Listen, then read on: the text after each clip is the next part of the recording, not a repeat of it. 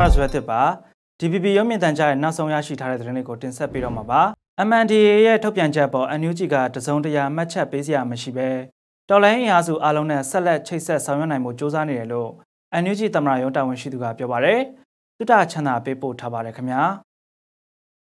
မြန်မာမျိုးသားဒီမိုကရက်တစ်မဟာမိတ်တပ်မတော် MNDAA စီကော်မတီရဲ့စက်တင်ဘာ၄ရက်နေ့ရက်စွဲနဲ့ပေါ်ပြထားတဲ့နိုင်ငံရေးရည်တည်ချက်ထုတ်ပြန်ချက်တစ်စောင်စက်တင်ဘာ19ရက်နေ့မှာထွက်ပေါ်လာတာပါထုတ်ပြန်ချက်မှာအပိုင်း၃ပိုင်းဖော်ပြထားပြီးပထမပိုင်းမှာ MNDAA ရဲ့မူလနိုင်ငံရေးရည်မှန်းချက်ဖြစ်တဲ့စစ်မှန်တဲ့ကိုယ်ပိုင်အုပ်ချုပ်ခွင့်ရရေးကိုလုံးဝပြောင်းလဲမှာမဟုတ်ကြောင်းနဲ့နိုင်ငံတော်ကနေခွဲထွက်တာနိုင်ငံတော်အာဏာကိုလူယူတာလွတ်လပ်ရေးယူပြီးနိုင်ငံသစ်ထူထောင်တာတွေကိုလုံးဝပြုလုပ်မှာမဟုတ်ကြောင်းဖော်ပြပါတယ်ဒုတိယပိုင်းမှာတော့တရုတ်နိုင်ငံနဲ့မြန်မာနိုင်ငံကိုဆန့်ကျင်တဲ့နိုင်ငံခြားအတိုင်းဝိုင်းတွေနဲ့ပူးပေါင်းဆက်ဆံတာမဟာမိတ်ဖွဲ့တာတွေပြုလုပ်မှာမဟုတ်ကြောင်းနဲ့ NUG နဲ့စစ်ရေးနိုင်ငံရေးပူးပေါင်းတာစစ်မြေပြင်ချက်ထွင်တာမန္တလေးနဲ့တောင်ကြီးကိုထိုးစစ်ဆင်တိုက်ခိုက်တာတွေလုံးဝလုပ်မှာမဟုတ်ဘူးလို့ဖော်ပြပါတယ်စစ်မြေပြင်ချက်ထွင်တာမလုပ်ပေမဲ့ခုခံကာကွယ်ခွင့်ကိုတော့ဆက်လက်ကန်ဆွဲမယ်လို့ဆိုထားပါတယ် တတိယပိုင်းမှာတော့တရုတ်အစိုးရကမြန်မာရေးမှာဂျာဝင်စစ်ဆက်ဖြည့်ရှင်းပေးဖို့နဲ့ MNDA ကချက်ချင်းပြည့်ရဆဲပြီးတရုတ်နိုင်ငံနဲ့ပူးပေါင်းကပြည်ပခါတွေကိုနိုင်ငံရေးဆွေးနွေးတဲ့လမ်းစဉ်နဲ့ဖြေရှာသွားမယ်လို့ဖော်ပြထားပါတယ်။ MNDA ရဲ့ statement ဆိုပြီးတော့ထုတ်တာတွေ့တော့ပေါ့နော်။ဒါပေမဲ့လောလောဆယ်ကျွန်တော်တို့အနေနဲ့မှတ်ချက်ပေးစရာမရှိပါဘူး။ NUG အနေနဲ့ကတော့တော်လိုင်းအင်အားစုတွေအားလုံးနဲ့ချိတ်ဆက်ပြီးတော့အများအားဒူဒူက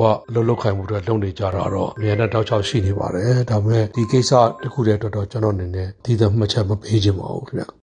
ဩဂတ်29ရက်နေ့ကတအမ်းမျိုးသားလူမျိုးရေးတပ်မတော် DNL ကိုပြည်တွင်းစစ်စင်ရေးတွေကိုရပ်ဆိုင်းမှုတိုက်တွန်းထားတဲ့ရွှေလီမြို့နိုင်ငံတော်လုံခြုံရေးကော်မတီရဲ့စာထွက်ပေါ်ပြီးနောက် စက်တင်ဘာ၄ရက်နေ့ရက်စွဲဖော်ပြထားတဲ့မြောက်ပိုင်းမဟာမိတ်အဖွဲ့ဝင် MNDA ဘက်ကထုတ်ပြန်ချက်ပြန်လည်ထွက်ပေါ်လာတာဖြစ်ပါတယ်။ဒီဟာတွေဒီငကိုကလေးကသူတို့ရဲ့နိုင်ငံရေးမျှော်မှန်းချက်စီရေးမှန်းချက်ပေါ့ဗျာ။နော်နေပြီးဆိုင်ရာမျှော်လင့်ချက်ဒီရှိနေပြီးသားလေ။ MNDA ပဲဖြစ်ဖြစ်မြောက်ပိုင်းသုံးဘက်ဒီကျွန်တော်တို့2015 20ပေါ့ဗျာဒီ NLD အစိုးရအာဏာရနေတဲ့အချိန်မှာလေသူတို့ဒီစစ်တပ်နဲ့စစ်ပွဲတွေဖြစ်နေတာပဲ။သူတို့နိုင်ငံရေးမှန်းချက်စီရေးမှန်းချက်အတွက်သူတို့လှုပ်ရှားနေကြတာပဲပေါ့ဗျာ။ငကိုကလေးကသူတို့မှာတိကျတဲ့စဉ်းစားချက်တွေရှိပြီးသား။ဆေးရနာရှင်ပုံရံသူဖြစ်သွားတယ်ဆိုတာမျိုးတော့တစ်ဖက်ကရှိပေမဲ့တစ်ဖက်မှာလည်းတီးသားစစ်ရေးနိုင်ငံရေးရည်မှန်းချက်တွေရှိတယ်။အကုန်လုံးရဲ့ဘုံရန်လူကတော့အခုချိန်ထိစစ်တပ်ဖြစ်နေတယ်ဆိုတာတော့သိကြတယ်ပေါ့ဗျာ။သူတို့ဒီစစ်ကောင်စီနဲ့ပူးပေါင်းတာမဟုတ်ဘူး။စစ်ကောင်စီစီမှာသူတို့ရာတင်တယ်သူတို့တော့မဲနဲ့ဒီနိုင်ငံရေးဆိုင်ရာအခွင့်အရေးလင်းကြီးဆိုင်ရာပိုင်ဆိုးမှုတွေတော့သူတို့ဆက်တိုက်ပွဲဝင်သွားမှာပဲ။ကျန်တဲ့ဒီ NUG နဲ့မဟာမိတ်ဖြစ်ရေးတို့ဘာလို့တော့နာဂဲပြည်အောင်သူစဉ်းစားတဲ့အခါမှာစဉ်းစားရမယ့်နောက်ထပ်နိုင်ငံရေးအချိုးအကွေ့တစ်ခုဖြစ်တယ်လို့ကျွန်တော်တို့ဒီလိုပဲနားလည်ပါတယ်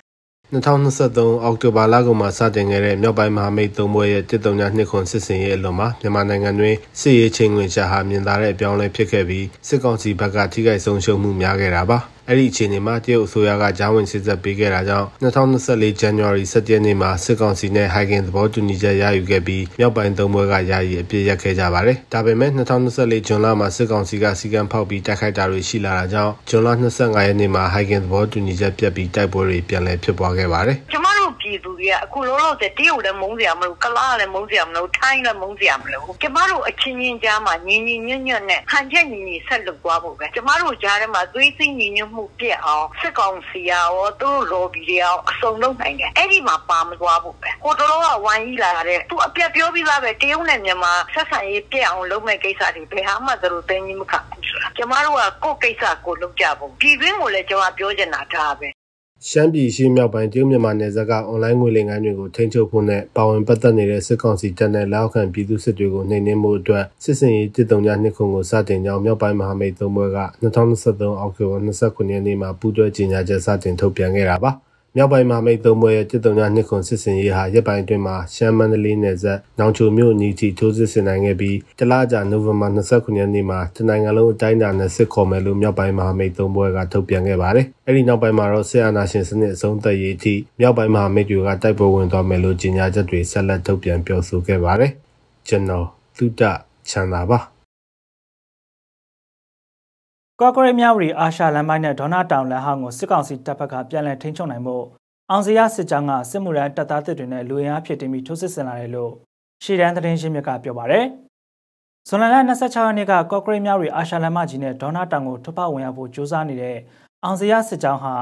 ပြန်လည်ဆွတ်ခွာသွားခဲ့ပြီးတဲ့နောက်တကြောပြန်ထိုးစစ်ဆင်လာတာပါ။စစ်ကောင်စီကလူရင်အားဖြစ်တင်ပြီးကော့ကရိတ်ရွှေကြံမင်းဘုံကြီးကျောင်းကိုတက်ဆွဲပြီးနောက်တန်းခံစစ်အသွင်နဲ့ အောင်စရာစစ်စင်ရေးကိုပြန်လည်စတင်နေတာလို့ဆိုပါတယ်။အချိန်တွေကတော့လောလောဆယ်မနေ့ကကောမနက်ပိုင်းကကောအတန်တွေကြားရနေပြီး Y21 နဲ့မကြာခဏပတ်ကြောင်းလွန်ခဲ့တဲ့9ရက်လောက်ကအင်အားဖြစ်တင်ပြီးမြောက်ရီကိုတက်နိုင်မှုစ조사နေတာဖြစ်ကြောင်းပွဲကြီးတွေမဖြစ်သေးပဲသူတို့နေရာကနေတိုးတဲ့ပုံစံနဲ့ထိတ်တိုက်မဝင်ရဲပဲပြစ်တာကရန်တမ်းပြစ်နေတာလို့ရှေ့တန်းသတင်းရင်းမြစ်ကပြောပါရယ်စက်တင်ဘာလဒုတိယပတ်ကစတင်ပြီးဖအံကြုံတိုးဘက်ကနေ စစ်ကောင်စီတပ်ဖွဲ့ဝင်တွေဟာအရက်ဝတ်တွေနဲ့အရသားရှင်တွေကိုအသုံးပြုပြီးစစ်မှုရန်လူငယ်တွေပါတဲ့ကားငါးစီးနဲ့မြောက်ရီဘက်ကိုတက်သွားတာလို့ဒေသခံတွေကပြောပါရယ်မြန်မာထိုင်းနယ်စပ်ကုံသွယ်ရေးမှာအဓိကအရေးပါတဲ့အာရှလမ်းမကြီးနဲ့မြောက်ရီမြို့ကိုစစ်ကောင်စီကပြန်လည်ထိန်းချုပ်နိုင်မှုနိုင်ငံအဆင့်အောင်စရာစစ်စင်နဲ့စစ်ကြောင်းထိုးဝင်ရောက်လာတာဧပြီလကလေးကဖြစ်ပါတယ်ခင်ဗျာ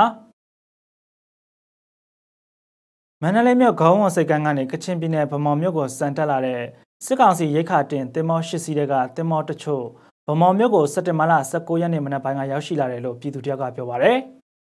ပြီးခဲ့တဲ့နှစ်လလောက်ကကချင်ပြည်နယ်ဗမော်မြို့ကိုစံတက်လာတဲ့စစ်ကောင်စီရိတ်ခါတင်တင်မော၈စီးတွေကတင်မောတချို့ဖြစ်ပြီးဗမော်မြို့စိတ်ကမ်းမှာလည်းစစ်ကောင်စီတပ်ဖွဲ့ဝင်တွေနဲ့ရဲဝတ်စစ်သားတွေလည်းလုံခြုံရေးယူထားတယ်လို့ဆိုပါတယ်။ဒီကနေ့မနက်ထွက်လာတော့ကမြို့ရဲကောမြစ်စိတ်ဘက်ကောအရဲဝတ်စစ်သားတွေနဲ့ရှိနေတာတွေ့ရပြီး တင်မောရောက်ပြီလို့လည်းကြားတယ်အတိအကျတော့မသိရဘူးများတော့မများဘူးလို့သူကပြောပါတယ်။တွန်မီတက်လာတဲ့ဟာရီကောပါတယ်ဆိုတော့အတိအကျမသိရဘူးလို့အဲ့ဒီဒေတာကန်ကပြောပါတယ်။ DPP ကစုံစမ်းရရှိတဲ့အခြေအနေအရ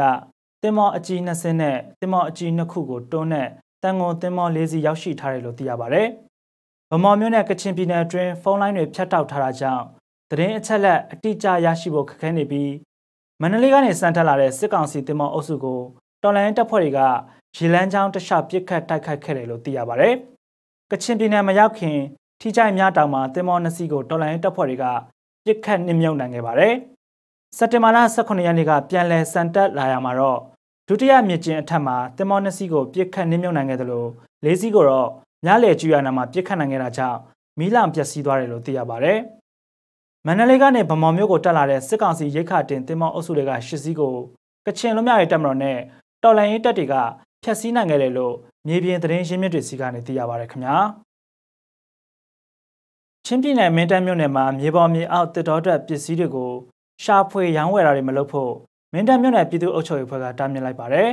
။စက်တင်ဘာလ23ရက်နေ့ကနေ20ရက်နေ့ထိပြုလုပ်ခဲ့တဲ့မင်းတပ်မြို့နယ်ပြည်သူ့အုပ်ချုပ်ရေးအဖွဲ့နဲ့ရက်ကွက်ကျွေးရအုပ်ချုပ်ရေးမှုတွေရဲ့လုပ်ငန်းညီနိုင်အစည်းအဝေးဆုံးဖြတ်ချက်အရတစ်တော်တဲ့ပစ္စည်းတွေကိုရှာဖွေတာရောင်းဝယ်ဖောက်ကားတာတွေလုံးဝခွင့်မပြုတော့ဘဲ လိုင်းနာဆောင်ရွက်တာမျိုးမရှိရင်ဥပဒေအရအရေးယူဖို့ဆုံးဖြတ်ခဲ့တယ်လို့မင်းတပ်ပါဖာစီကနေသိရပါဗျ။မြေပေါ်မြောက်ပစ္စည်းတွေဆိုတာထက်တစ်တော်တဲ့ပစ္စည်းတွေခိုးထုတ်ရောင်းချတာတွေကိုလည်းပိတ်ပင်တားဆီးမှဖြစ်ပြီးကိုယ့်ရဲ့ရေမြေသဘာဝပတ်ဝန်းကျင်ရေရှည်တည်တတ်အောင်ထိမ့်သိမ်းသွားမယ်လို့မင်တာပါဖာရဲ့ပြောရေးဆိုခွင့်ရှိသူလူစလိုင်းရောမန်ကပြောပါတယ်မင်တာပါဖာအနေနဲ့2023ခုနှစ်ကမြေပေါက်တစ်ခွအပင်ပွားတစ်ခွ